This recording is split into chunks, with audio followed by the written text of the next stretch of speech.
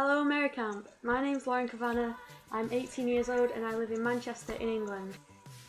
I want to work at a summer camp because you know you're working and you're still learning things and you're still teaching people things and it's away from home as well so you get a sense of independence.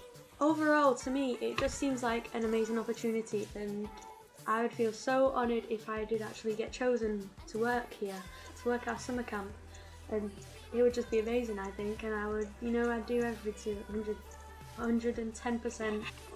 Soccer is a big hobby of mine. I've played that for years and years and I got scouted for a centre of excellence and was even lucky enough to train with some of the England ladies players. My heart, you know I love music and I just love travelling and I'm going to skip to a little video and some pictures here so yeah, thank you for watching this.